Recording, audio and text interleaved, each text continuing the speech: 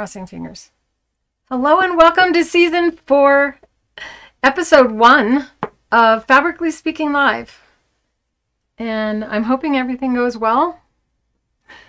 Yay! I was having audio issues and apparently I fixed it. Yay. Hello everybody. I um what can I say? I tried not to have the show, but turns out it's uh, it's a part of me now, and maybe I got everything working really well, and and we'll have a good time doing this every Thursday. Now today is not Thursday; it's Tuesday, and I tried to go live in the school, and only one person showed up for the Zoom. I don't know. I think it's because everyone gets confused about what time it is when I'm on Zoom and what time I it is when I'm on YouTube. So the microphone is too loud. Let me turn this down a little so I don't make your speakers buzz. Okay. That's better, right? It's different not hearing you guys talking, but I think are you guys are you guys happy with this? With us sticking with Fabricly Speaking Live? And I got almost all my buttons working. I just don't have the button that switches working. I mean, it was working yesterday, but it's not working today. Nah, it's not working. So one button not working, but I can live with that. This is what I did in the VIP Live. For those of you who missed out on the VIP Live and are on the VIP in the VIP group, I'll have the link in there soon. I'm trying to get into the chat. Come on. Everything is making me log in again today.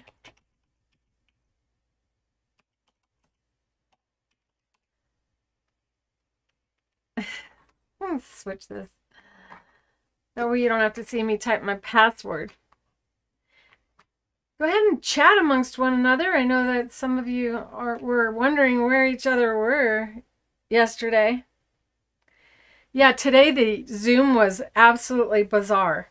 I couldn't I couldn't get it to, to stop being live. It took about a half an hour of I kept quitting Zoom and and inside the school it kept showing me live so if you tried to join the zoom afterward that's what was going on. It was malfunctioning and you know youtube never let me down. Only my cameras did. So we'll just stick with this and uh,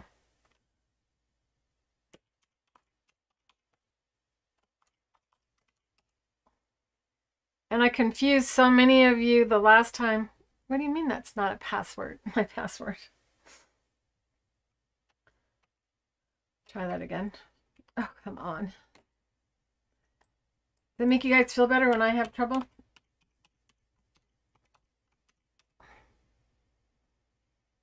Oh my gosh, it's making me do the looking for traffic lights thing.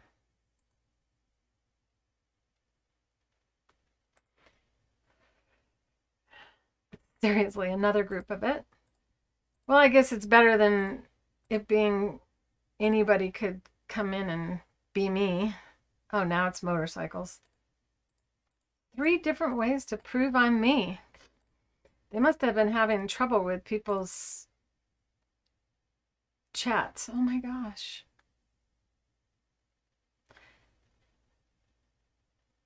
Why is it doing this? I just was in my account. I wouldn't be live if I weren't using this, so this is weird. Oh my goodness. I'm if I if it doesn't work this time, I'm gonna just uh, stick with using my cell phone for looking at the chat. Yeah, forget it. Oh well. I don't get it. I was already in it. So I have the chat over here. It's just itty bitty. For those of you who are new to my channel, I'm Clare Rowley, inventor of the Creative Feet line of sewing machine attachments and the Octi hoops. And I'm going to play around with all of them today. If you have any questions, please don't hesitate to reach out in the chat. And there's a lot of people in there that have been hanging out with me for a while as this is our fourth season of Fabricly Speaking Live. Fabricly Speaking Live generally is every Thursday at 2 o'clock Mountain Standard Time. And so today's an off time because I had actually decided not to do the show anymore. Had a rough 2022, which kind of impacted my spirit. I can't type in the chat right now. Oh well. Everything is going to be all right, right?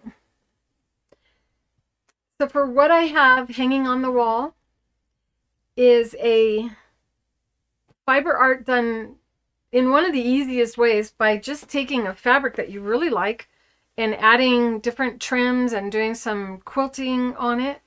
This is the actual fabric that you see there, even though this is all purple and pinks. So when we come down here, you'll see that the colors are what you see up on the wall.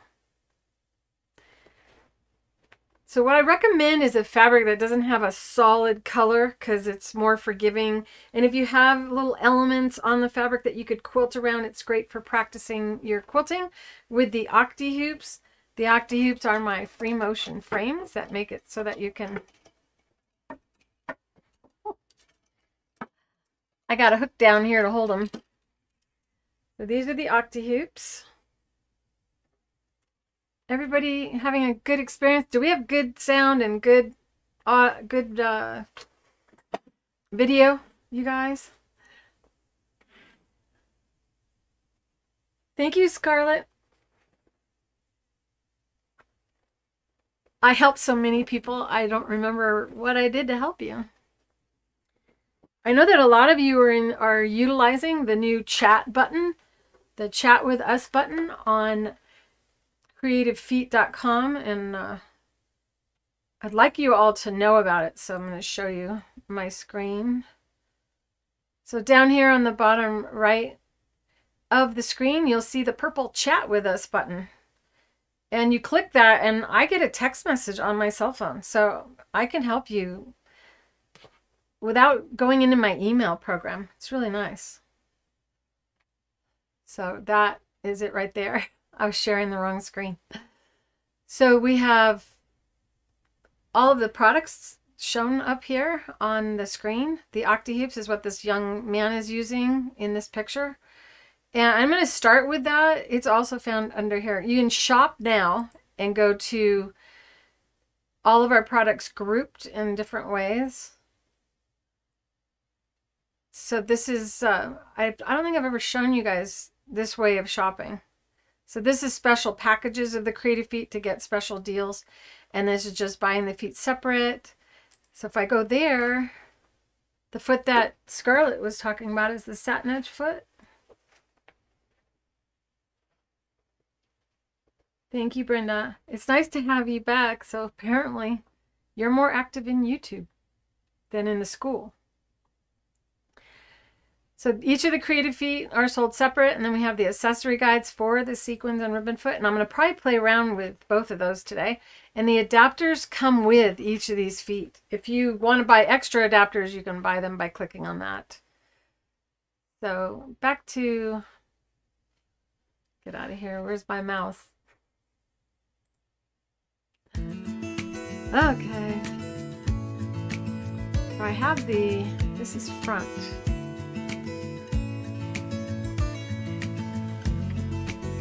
Uh-oh, there's music playing. Why is that?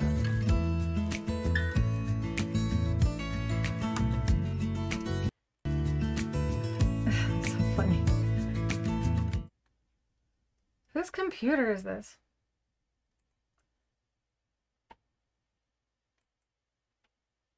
I got that playing in lots of places.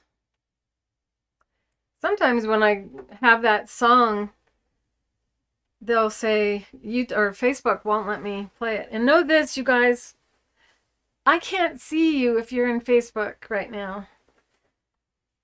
It isn't for lack of trying to log into the chat. I don't know why the chat's not working. I'm going to give it one more try. Just because now I realize I can't see any of the chats coming from Facebook, only YouTube. So if you want, you could jump on over to the YouTube channel.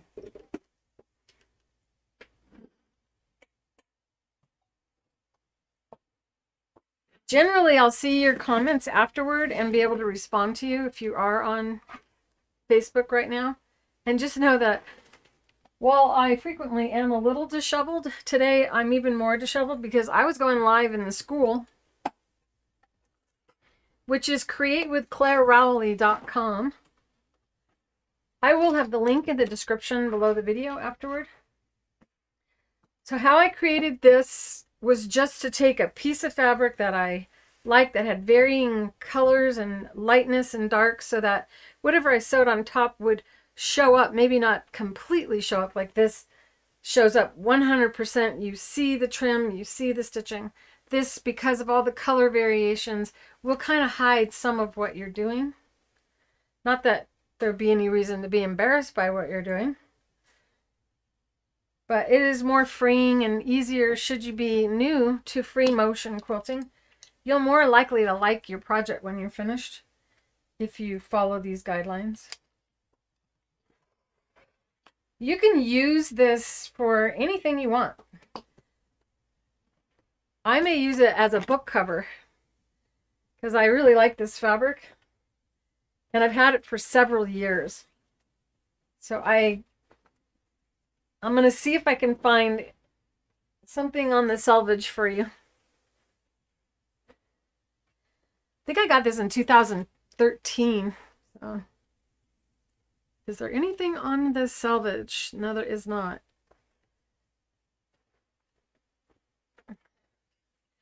Sorry, you guys. But this is a a printed batik instead of the authentic batiks. So it's generally a little bit less expensive and you can find fabrics like this in just about all of your fabric stores and on Spoonflower. Okay, there goes my phone. Why are you wanting to fall over?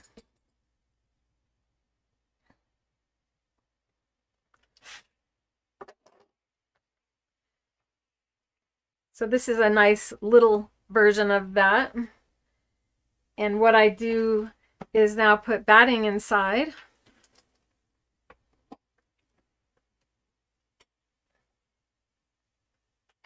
Time to get itchy. And then it's it's a hypoallergenic batting. It's just that the the the fuzz flies in the air and lands on me. Maybe because I'm in Arizona.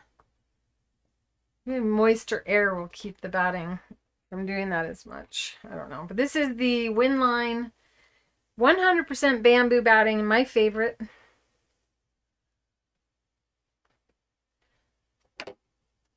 And we do have that as part of what's on sale as well at creativefeet.com.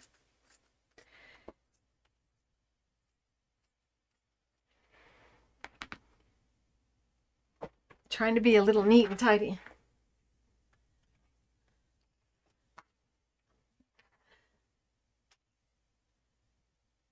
All right, so got to figure out which is right and which is wrong. And if you can't tell, you can take your fabric and stretch across the grain.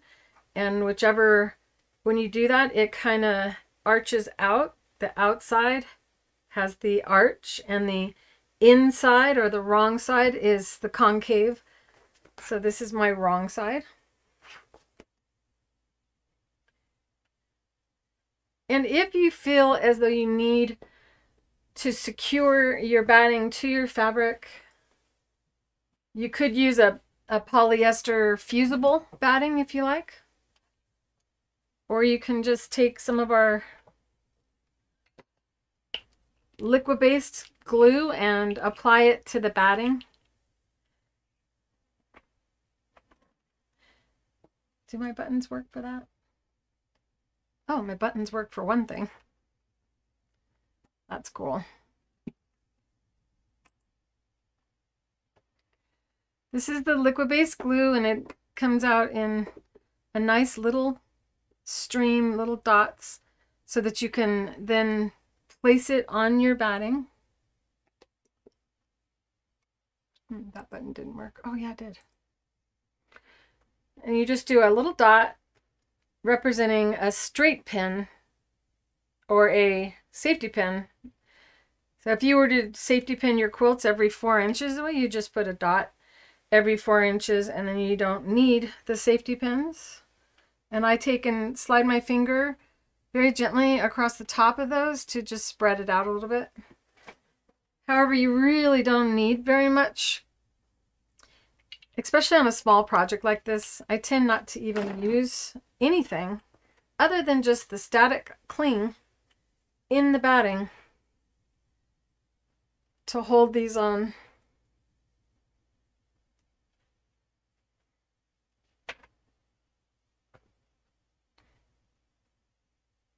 I made the batting a little bit off size. Let's see.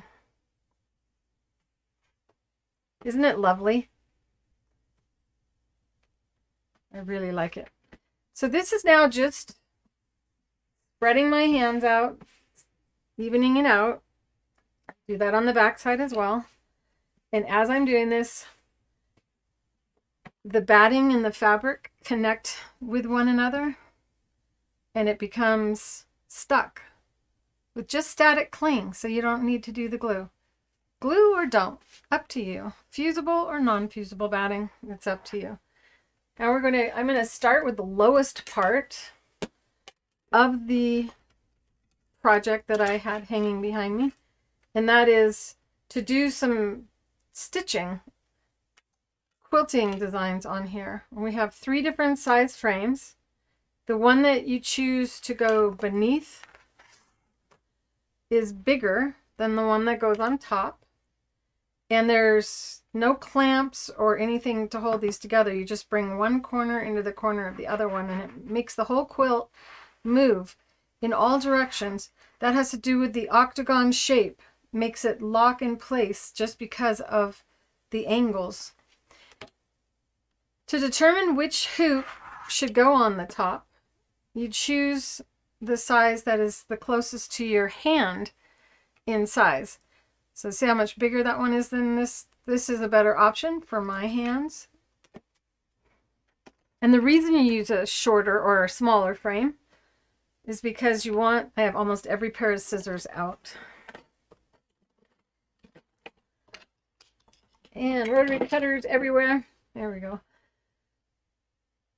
We're going to move the entire quilt with just our fingers using this little handle that drops into the top of the frame. And then you just draw and the whole quilt moves because the frame beneath will help to lift the quilt up.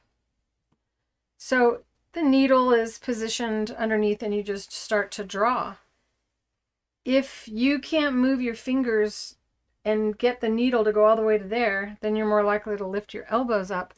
And lifting your elbows makes it so you're not as, I'm uh, sorry, hold on one second while I move my camera size for the front and transition so you can see better. This was a project, another of the, I think this is, yeah, this is actually a video I did up on the site on YouTube. If you want to learn how to quilt, how to bind your quilt with piping, be sure to check out the video where you see this. And I quilted and then also piped and then stitched all the way around as if it were a quilt. So you can pipe with quilting or quilt binding. You can bind your quilt with piping. And then this is a VIP lesson. Here we go.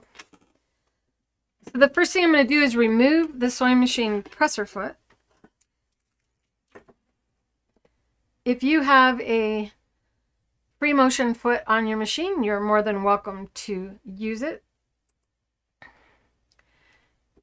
And this would be a good option to have the open toe version of the free motion foot. But one of the most exciting things about the OctiHoops is that you don't need to use a free motion foot. Loosen and remove the snap-on adapter and this will be the bottom of my quilt. So I'm going to bring it through and work from the top and come down. It really doesn't matter. You don't have to worry about starting in the middle and working your way out. If you've been taught that, you can forget that lesson. I got all kinds of stuff out.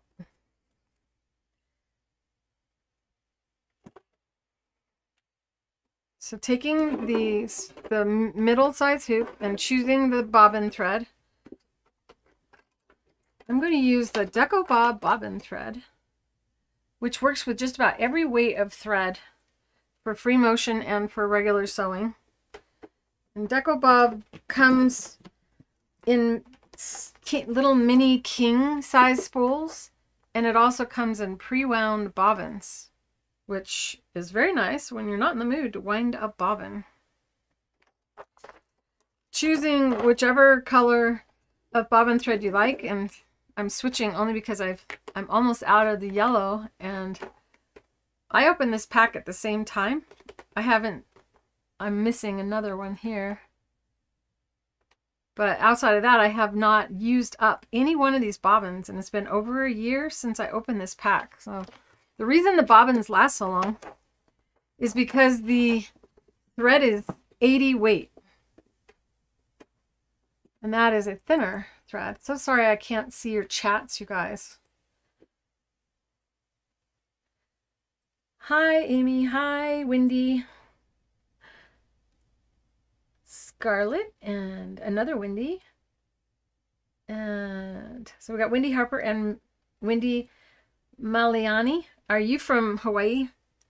And Cheryl Wempole from Granbury, Texas. And Brenda Crow. Hi, everybody, she said. And as I fumble to try to find the end of my bobbin, I'll bring up this camera.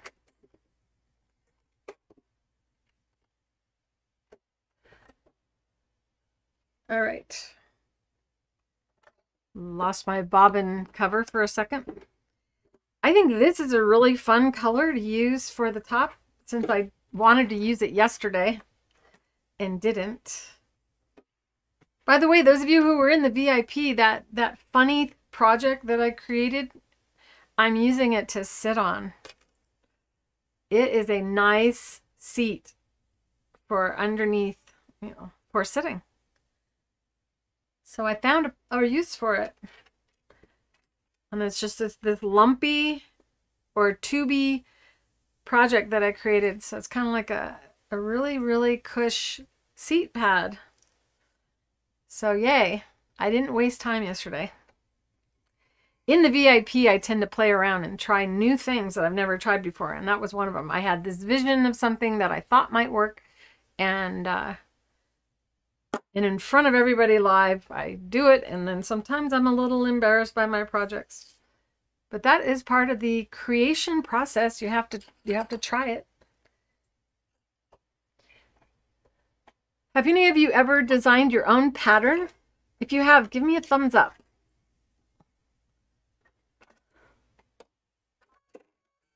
So I'm a little higher in my seat today as a result of, of that pad. And I like it because I can kind of form it into the right spot. So I will talk more about it when I create one that's worthy of everyone seeing it. So pink bobbin, lime green, kind of almost a neon green thread on the top. And then just take your fabric and position it beneath. We're going to place the bottom frame underneath and the small frame on top. And then bring in my bolster pillows. I had them all there.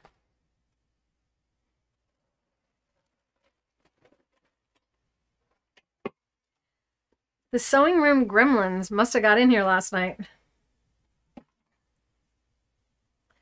So I have a bolster pillow pattern and it is available in the school createwithclarerowley.com and uh, for free for you guys to use. And you can create different sizes. So this arm is about an inch and a half shorter than that arm because I had surgery and they, they had to shorten my arm. So I use a thicker one on my left arm than I do on my right arm. And it helps to, to level me while I do free motion. If you've done free motion before and you don't even get the concept of putting your elbows down while doing free motion, you haven't played around with the octi hoops yet. And also all three of the creative feet make it so that you can put your elbows down when you sew. I have too much stuff in front of me. Oh, look, I made it out of the same fabric. so elbows down, and shoulders relaxed. And then you grab a corner and bring the two corners from the bottom frame and the top frame. You bring those two corners together. You can only bring one corner together at any given time because of the mathematics of it. So any corner at all, and you can start right on the edge. I will switch to a tighter camera in a second for you. And then on my machine, if I try to start sewing, I'm I have a straight stitch, the 9014 Super Universal needle and that is a non-stick needle so it tends to slide in and out of fabric easier and you're less likely to get your bobbin thread coming up to the top. But you could use any version of the 9014 thread with a 40 weight polyester on top or you can use the thinner thread on the top so your stitches don't show as much which is better if you're a new quilter. So the InvisaFil thread available at creativefeet.com would be a good thread to start with if you're new and you don't really want to see your stitching that much. And so straight stitch and you can lower your feed dogs. I'm not going to do so yet so that people who cannot lower their feed dogs see that you can quilt without them. And then at some point, if I remember, I'll drop those feed dogs. So stitch length, stitch width, all of that is irrelevant when you don't have a foot so because there's no presser foot and the quilt is being lifted by the bottom frame, the feed dogs cannot interfere with the feeding of the fabric and I become the steerer or the feeder of my fabric. So as I try to sew with my machine, because it's computerized, and I push on the pedal, it goes ding ding and you know like reminder that I didn't lower the presser foot bar. In this case, I have a button that raises the foot as well and then that lever doesn't go up. So if you have a regular machine and you drop the feet, drop the foot, the tension discs close on the thread. If you don't lower that, the tension discs remain open and then your thread falls to the bottom and creates a real mess on the bottom of your quilt if that's ever happened to you. Now you know why that happens. Another reason you can get the looping on the bottom is by not raising the foot when you change thread. So doing free motion, being aware of the position of your presser foot bar makes your life a lot easier.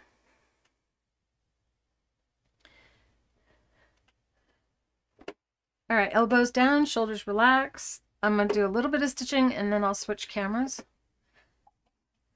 Bring up your bobbin thread to the top. If you don't do that, what will happen is your machine just won't it won't stitch and you'll think what's going on? Something's wrong with this hoop. But it's not. It's that you need that bobbin thread brought up for at least the first couple stitches.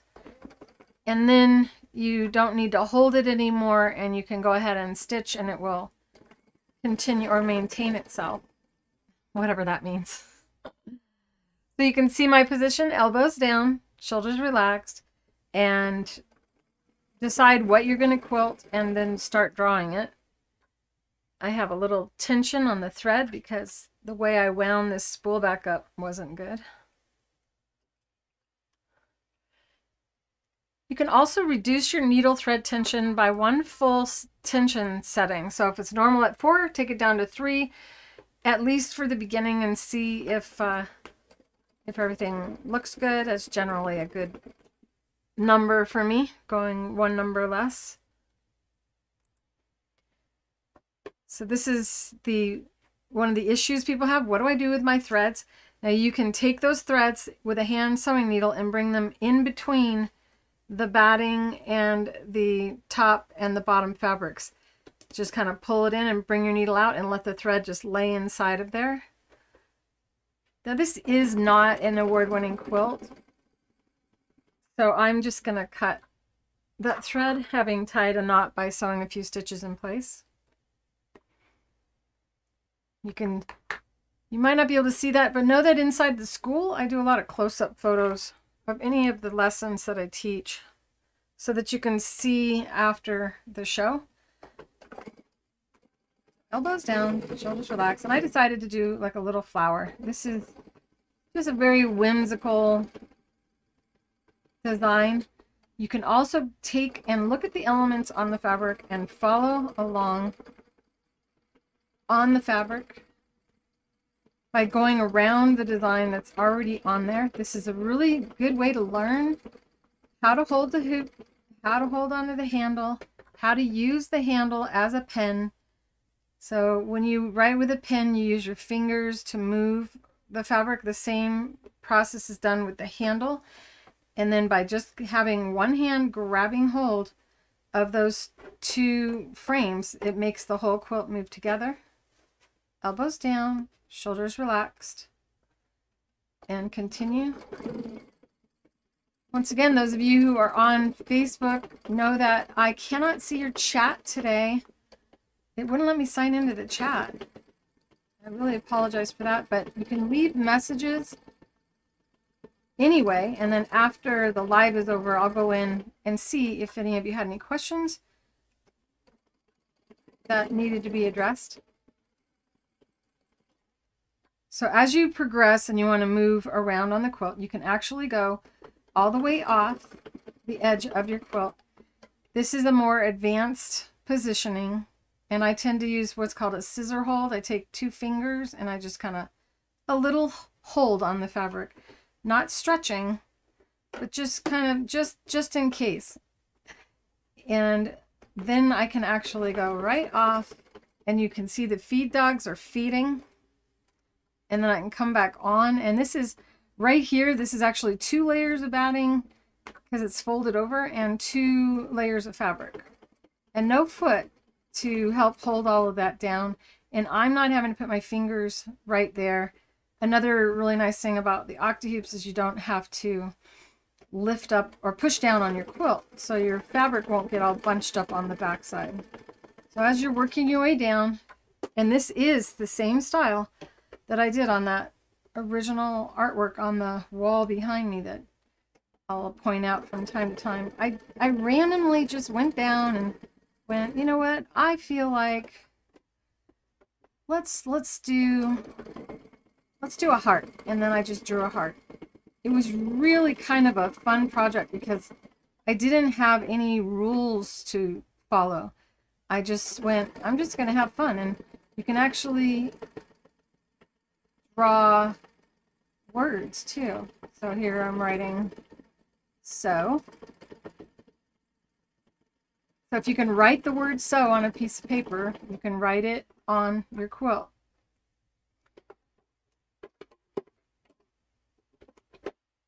So the trick to doing the fiber art where you're combining different types of trims is that you want to make sure you don't start with the thick hard trim so you wouldn't want to have beads already stitched on the fabric first do that later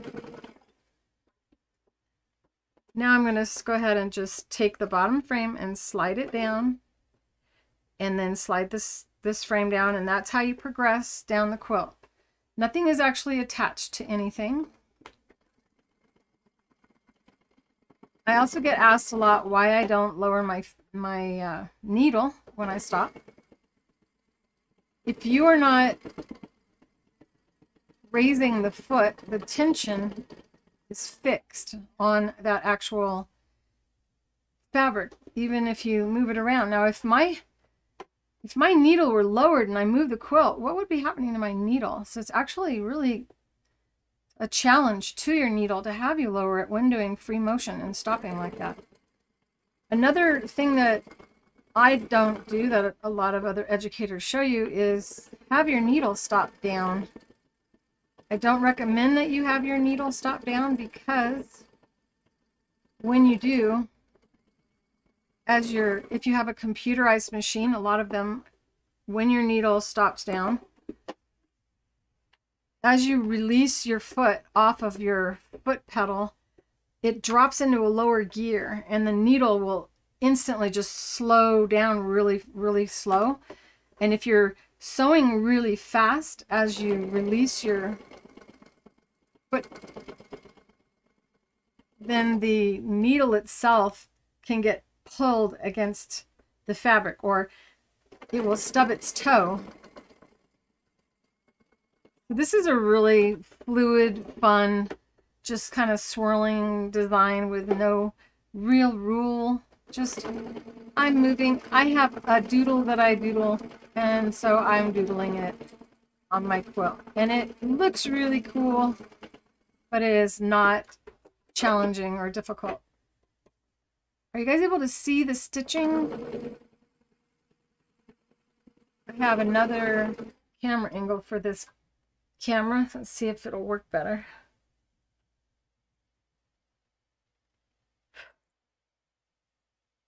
My dog is growling. I was like, what is that sound I'm hearing? Chase is Chase is scary. So let's see if this close, it looks blurry. Even though I set the, um, I really did set this already for focus. I'm a little concerned about this one camera.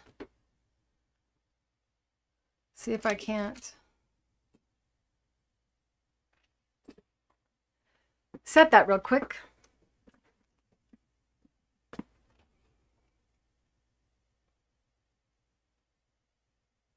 Come on.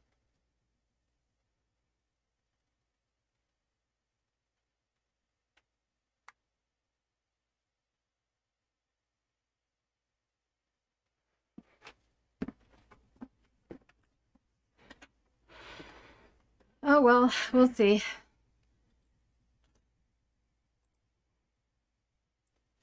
It's a lot closer, but see if you can see it. So I'm just I'm just going up to a point and coming back down. And once I get all the way down one row, I'm to stop and feet anyway. And I can maybe bring that up on another camera. So you have the freedom to just kind of move everything around.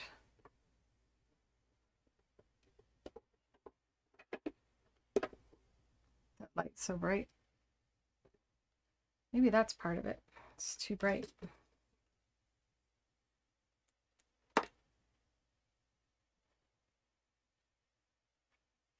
So one of you was talking about the presser. Oh, did you think I was talking about the pressers and not my presser foot?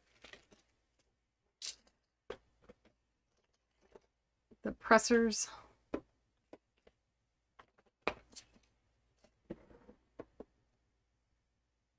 And I don't, I haven't needed this today, but it doesn't mean I won't need it. Look, it kind of matches this fabric. I do tend to like these fabrics. it reminds me of a big stick popsicle. As a child, I really liked those.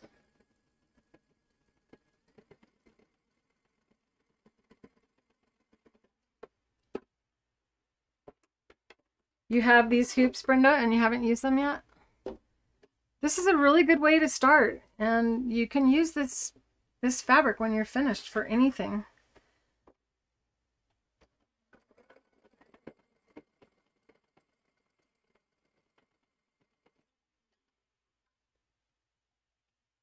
So I'm going to do a heart.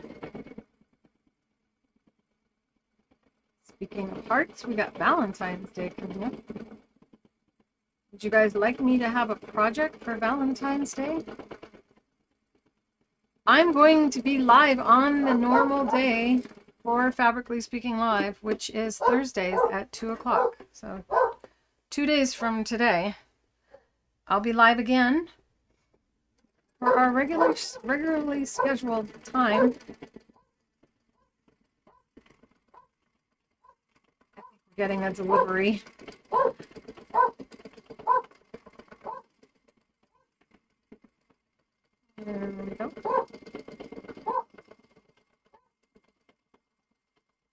So I'm just going to do like one section of this wall hanging so you have an idea of how it was done. I never lowered my feed dogs. For those of you who want to see that you can, I'm going to lower them now.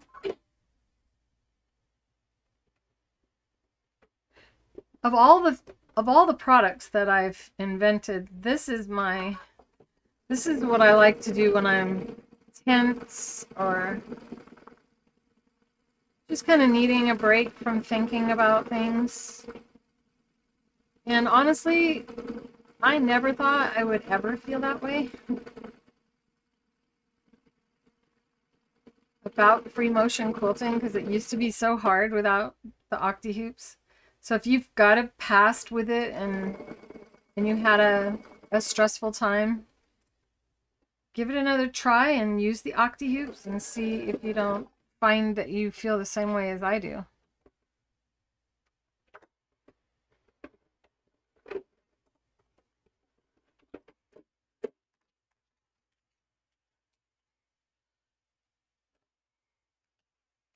Let me bring it up to the camera so you guys can see what I did.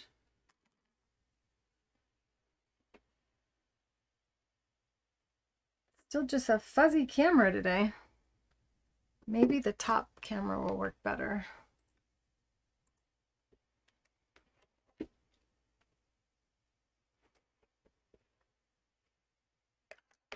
It's just too whimsical of fabric. See the swirls? Let me try the other camera one more time and we'll switch to the creative feet part of this. Here was a really fun spot. And I just kept echo quilting around. Know that I never thought about my stitch length the whole time because just like you don't drive your car worrying about what what speed you're going once you kind of know the feeling of the speed. Can you guys see that? If you can, give me a thumbs up so I know that you guys can see it and I'll move on. Imagine a, a, a, a, a holiday. Imagine a Valentine quilt that you do hearts and then you alternate between all the words that reflect love, like love, care, adore, and you can just do fill up the whole thing with that and maybe make it into a book cover and give it to somebody that you love for Valentine's Day. Well, should we do that on val next on Thursday? I do have a pattern that I already started drafting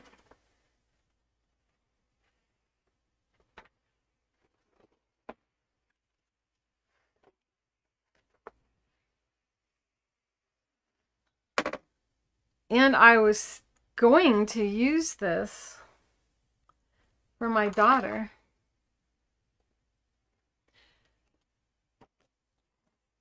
And then she was like, I don't really want a whole book cover. I just want something that, that holds the pages. So I came up with this. And what you're seeing here is, is my inking she used it like this and took the took it and it went it goes like that on the back of the book and then when you open it up you know what page you left off on this is a book available at Creative Feet right now this is by Carol Ann Waugh Stupendous Stitching I could ink this I don't know. There's so much to do. So much I could do.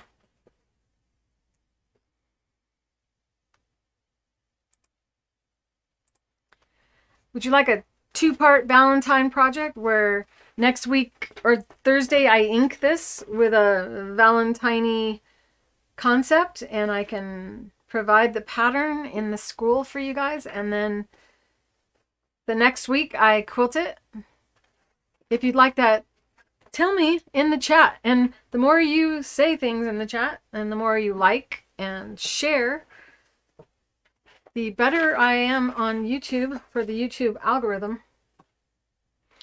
That is partly why I was going to stop doing the show because the sh I go too long and then not all of you watch to the end. So it's up to me to not to not go too long. So I'm going to switch to showing you the next level would be yarn because you can sew through yarn without risk of breaking your needle. If I want to sew through some beads or rhinestones or heavy cord, then you're more you're more likely to accidentally strike that with your needle and break your needle.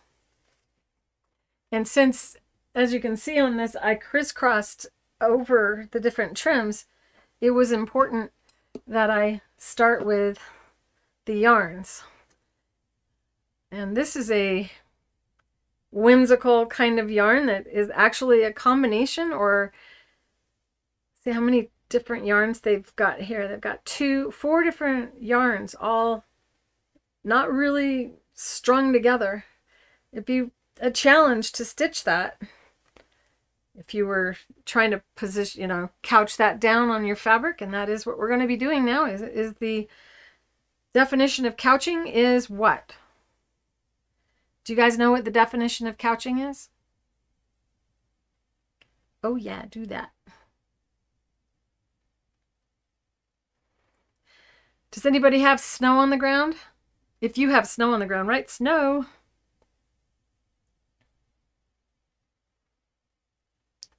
I don't want to waste that area if it's tied in a knot.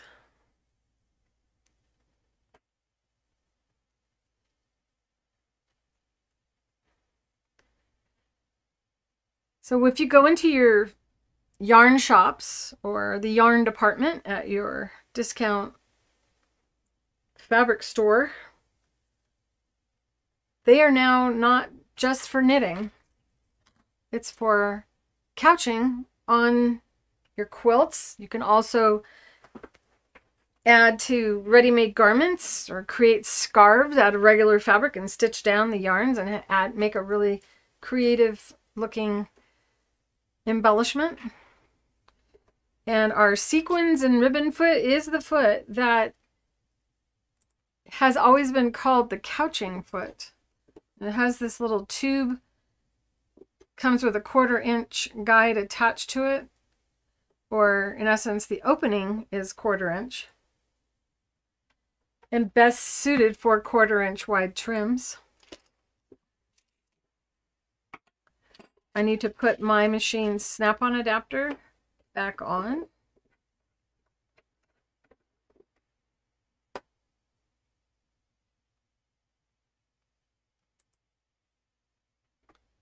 Always, whoops, always tighten your screwdriver or always try to tighten your screw with a screwdriver so it doesn't come loose while you're sewing.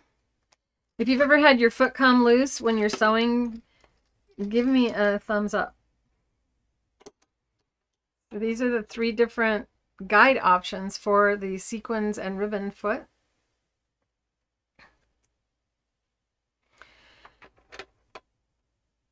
and I look at the yarn and try to decide which of the openings would be the best for this particular yarn at the point where we have these little knots that come out.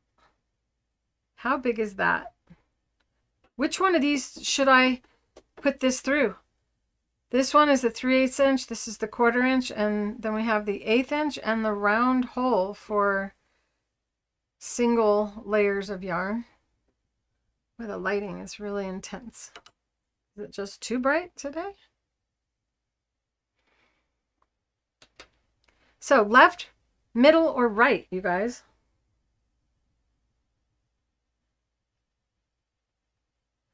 You're making the Irish chain quilt. I hope you'll share pictures in the school when you're done with that, Scarlett. West Phoenix, 91st, and Camelback.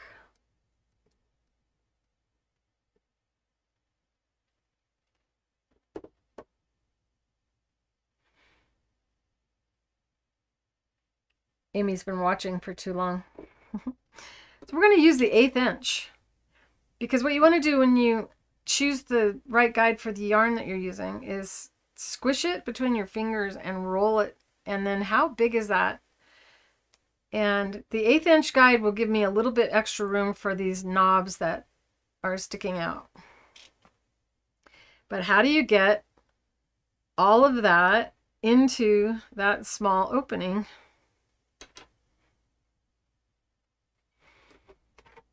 First, I need to change the guide. And you do that by just turning the nut. And this is the Creative Feet brand sequins and ribbon foot, and I'm the inventor of it. I invented it when I was 21 years old. You just take and put this into the guide. And then you push it on till you feel that the nut is attaching or starting to thread onto that screw. And then you can flip it around until this clear post goes into that slot and continue.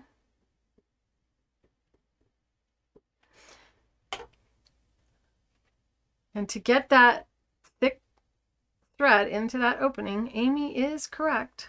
We are going to use a piece of thread to do that. any old thread will do. Just take and lay it down on your surface. Then lay your yarn across it. And then bring it up like this. And I do prefer thread over all other threading devices.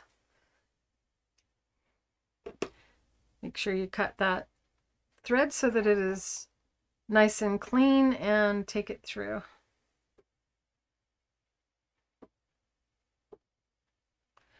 Then as you continue, the yarn will go through and we're now looking at eight different thicknesses going through that opening. And this is the knot that I didn't want to cut off until we got to this point. Because I don't like wasting if I can avoid it. And You just pull it.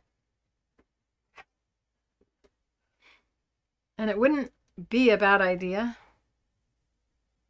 at this to just kind of tie a little knot before I get started.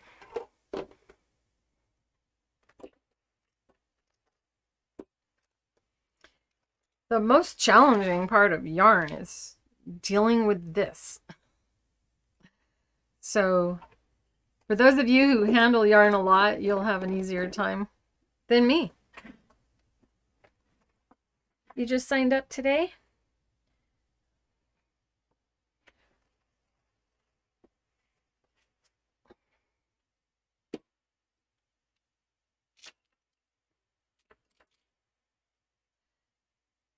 And for those of you who don't know, I'm also a novelist. I just published my first book. And it is called Beyond the Brushstrokes. I'll put the link in the description below the video. The reason I'm mentioning it is because now that I know how to publish, I am going to be producing a lot of different sewing books as well. What is going on with my camera?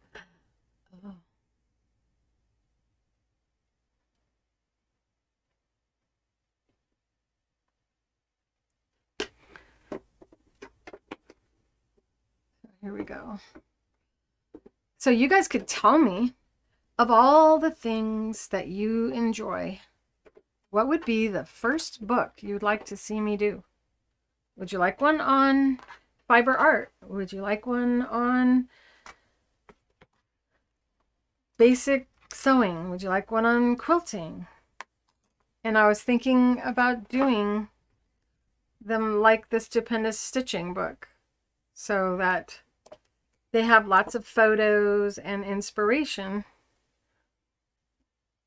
This is similar, and why I'm bringing this up is this is very similar to what I'm doing now, except for Carol Ann Waugh used decorative stitches on the sewing machine.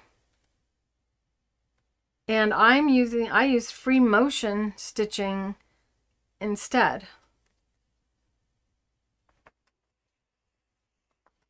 And what I did yesterday with the VIP group, that round design, which is out of my reach here. Let's see.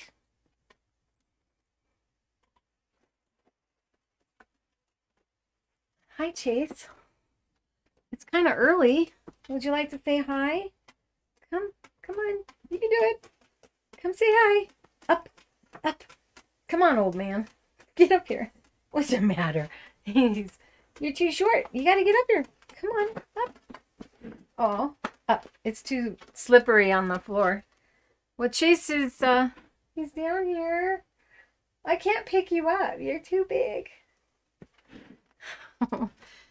I must have said something that sounded like his name.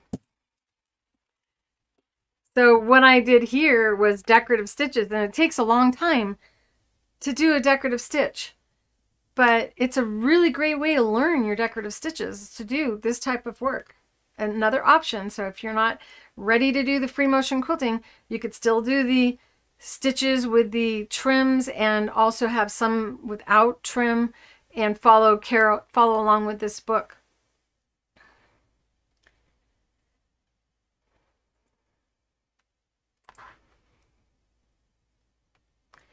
So I have the stitch or the trim inside of the the middle opening or the left opening on this.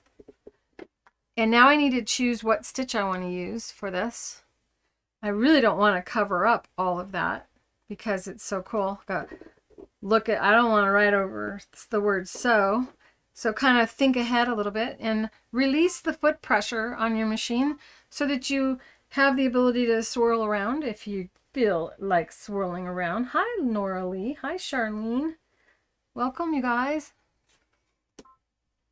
Let's see. There's a fun stitch. It's the couching stitch. Go figure. The couching stitch on the Baby Lock and also brother machines that are made by Baby Lock, or the other way around. The brother machines, brother makes Baby Lock. So this is 2-09. Oops, I forgot I lowered the feed dogs. So I've raised them back up.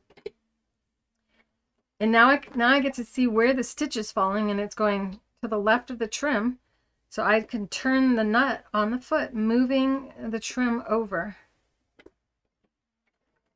And while a lot of the sewing machine companies have made knockoffs or copies or similar feet to my foot, none of them have these different options, these guides, and the ability to adjust them to your needle position. Could also use double needles and triple needles in com in combination with different ribbons.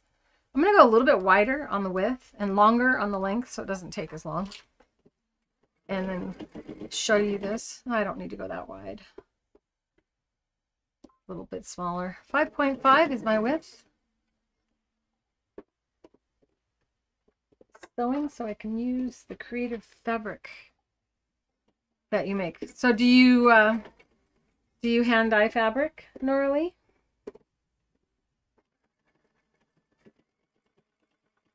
I was trying to avoid the word sew that I wrote. And I succeeded. And since I have like a swirling design that I stitched out, as I mentioned before, the most challenging thing is controlling the yarn. And you could put the yarn through a straw and tape the tape a straw to your machine and have it jut out to the side because the foot does the guiding for you.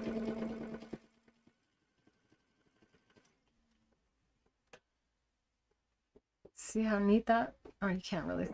Kind of a dark zone over there. Maybe I need to move this over. that seems better. but too much in the shot. It's been about a month since I've gone live like this, so I forgot some things.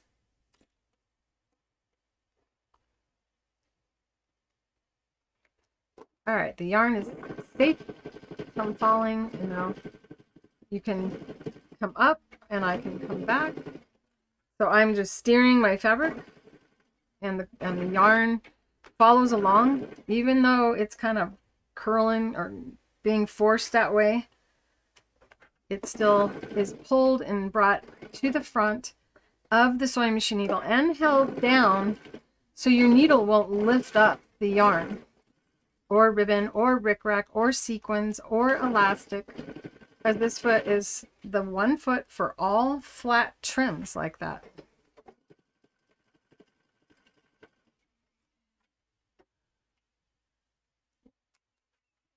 I feel like going all the way around in a circle.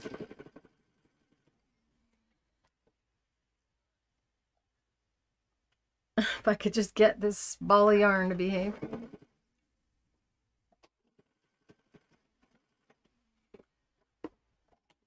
Now this is when free motion is easier.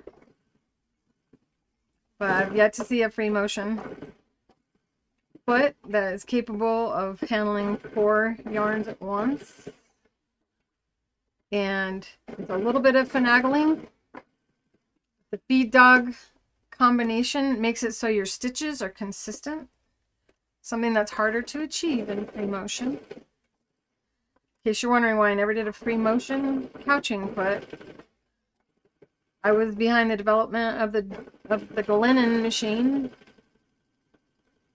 and it was just it wasn't worth it compared to what I could achieve with the creative feet.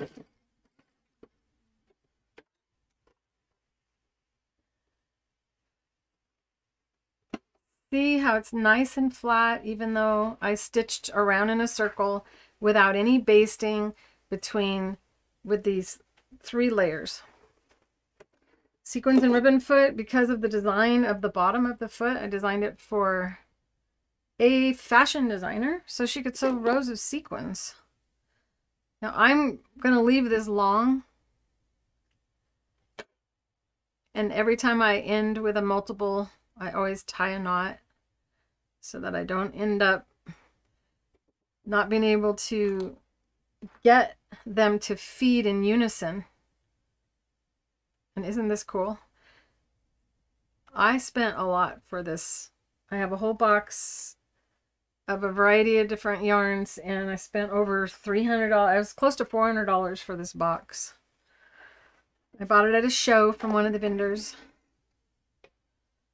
So if I don't cut that, I can take and bring this up and I can do a finish on the bottom of this and leave this hanging down as an element of the, the fiber art-ish behavior of the entire design, which is what I have on the wall behind me. So on the on this, you can see a couple dangling. But I did go all the way around and finish with a technique done with our pearls and piping foot, which is what I'm going to show now. I'm going to do a, use the pearls and piping foot to put what on? What should we put down? Should I use a cording or should I use some beads? You guys choose what you want me to do. Beads or cording. And this is a rat tail cording. Tell me in the chat, you guys. This is your chance to be, to tell me what to do.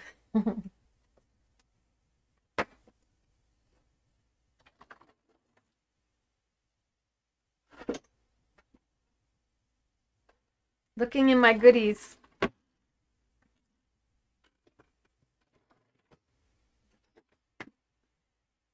Oh, I have a feeling I know what color I'm going to be asked to use. But I have a variety of different colors of the rat tail satin cording, and this is the two millimeter wide, I believe. what size is it?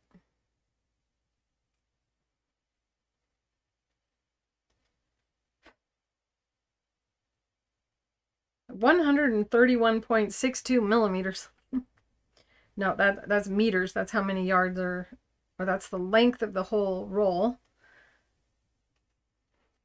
But I believe this would be, this would count as the eighth inch or the two millimeter wide rat tail cording. Should I use purple? all right, you all agree on cording.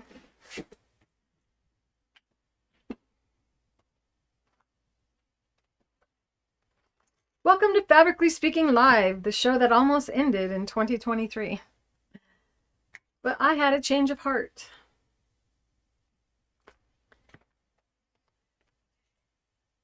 I have a good feeling about 2023.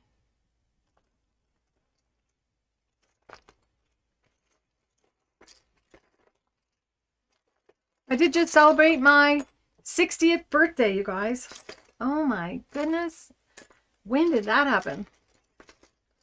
I launched this company in my early 20s. It's been a long, long part of my life. Oh, I forgot I accidentally dumped this.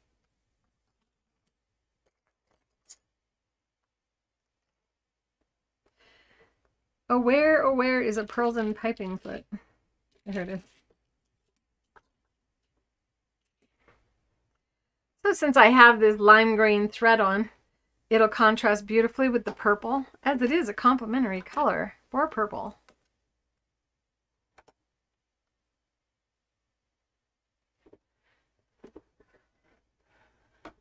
The Beyond the Brushstrokes channel will be opening soon as well, and I'm going to be doing artwork on there. So I was like thinking I should do a fabric inking lesson and use that in the Beyond the Brushstrokes channel for people who are not interested in painting their own fabric. I will announce when the Beyond the Brushstrokes channel opens. And it does correlate with my novel Beyond the Brushstrokes.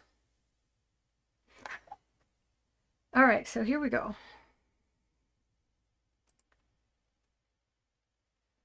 What I have here is a cord, and all you do is slide it underneath the foot.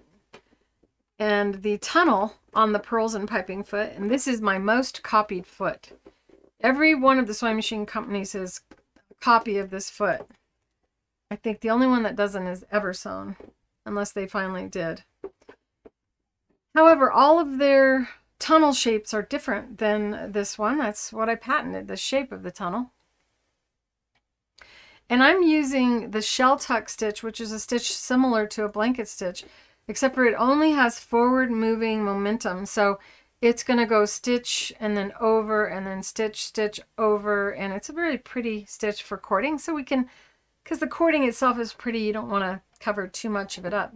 But I can see that my needle is really quite far this way so I can take the foot off and this is another feature that our foot has that the rest don't is a little washer on the bar that moves the trim over so that doubles your sewing machine's needle position capability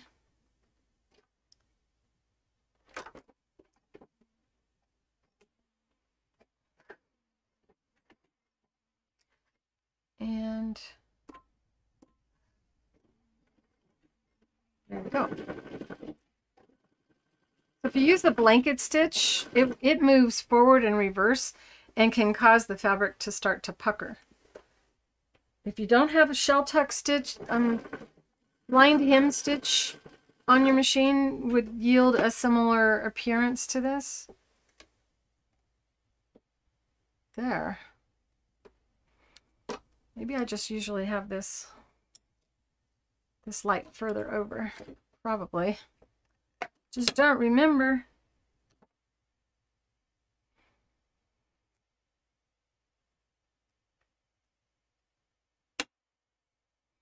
Cameras also don't like lights in their eyes, just like we don't like light in our eyes when we look at things. See how much you were missed. You guys don't show up in a live Everybody who's used to seeing you gets all worried about you. You have a responsibility to the other students to let them know that you're that you're okay if you don't show up. Of course, it does help if you know I'm going live, right?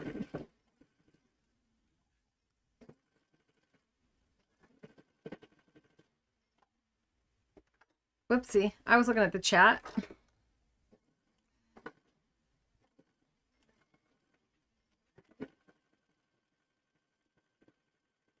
So one of the things you, you can't see is that I'm not holding the, the trim at all.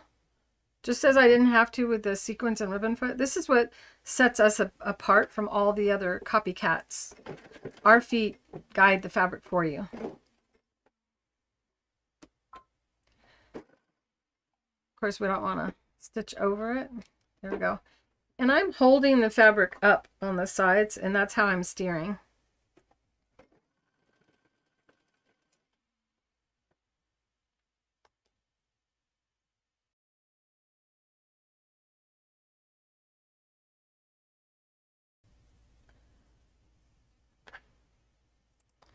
So you can see my, my posture, my elbows are resting and I, I, I should be having these under my elbows. The, one of the reasons you want to put pads under your elbows, the mic come back on? Yeah, is so that you don't have that strain between your shoulder blades. So if you sew a lot and you feel that pinching between your shoulder blades, like it's uh, called inlayers backache, anytime you do anything where your arms are up while you're working, it causes that, that strain in, in your back. So these little elbow pads take all that away. And anything that you do, if you're a manicurist, these are great for under your elbows while you paint someone's fingernails and if you're a beater, or I'm sure you can come up with lots of different crafts. In fact, share one of your non sewing crafts that you like to do in the chat so everybody else can learn more about you. This is my posture, elbows down, shoulders relaxed. That's the mantra. And then you just steer and the trim goes along with the foot. So you just focus on where you want to sew. And I think, I think I'm going to go, what do I want to do with this?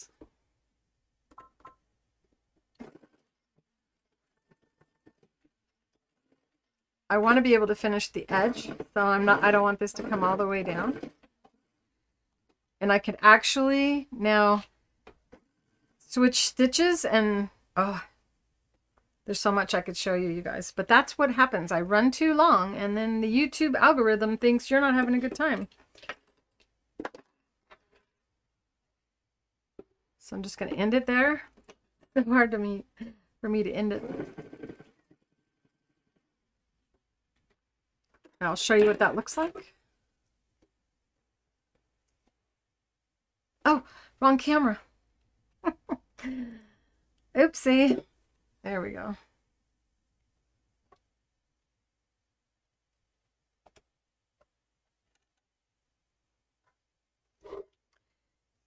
And inside the school, I'll have pictures of all of this real close-up shots so you can see as good as I'm able to see with my magnifying glasses on. See the words, the word so? Those are the trims, and this is just the single trim. And I didn't do anything with the satin edge foot, which is so unusual to not do something with the satin edge foot. But we will I think end it here. So I don't go too long because I'm already, I'm at an hour and 20 minutes. I'm trying to keep Fabricly Speaking live at an hour. We'll see if I can accomplish that. So bye, Amy. Bye, everybody. I I will, remember, be live again Thursday, this Thursday at 2 Mountain Standard Time. So just know that Arizona does not change time. that sounds funny. We don't change our clocks. If you've yet to subscribe to my channel, I sure hope you'll do so today. And if you like this video, go ahead and hit that like button.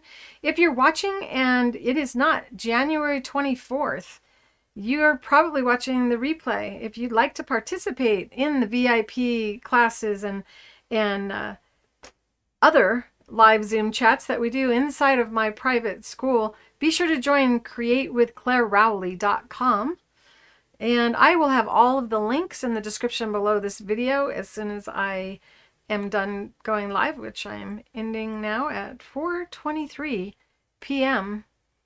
Mountain Standard Time. If you don't know what time it is where I am, simply type into a internet search, what time is it in Arizona? And then you'll know what time it is. I think the reason the Zoom failed today is because people didn't realize that the time you see when you go to a Zoom, it's your time instead of mine. So no one showed up at my time. Well, one person showed up at my time. Right? Wendy, right? She was there. She's having trouble with her computer. All of you that are having difficulties with your computers right now, Mercury is in retrograde for whatever that's worth.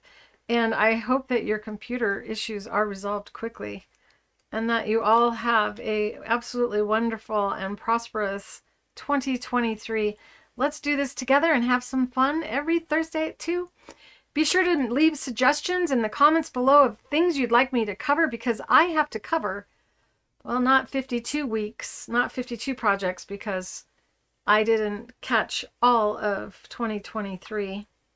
So I have at least 50 ideas to have for every Fabricly Speaking live show this year. So I need your help. Give me ideas. What is your biggest challenge? What do you want me to show?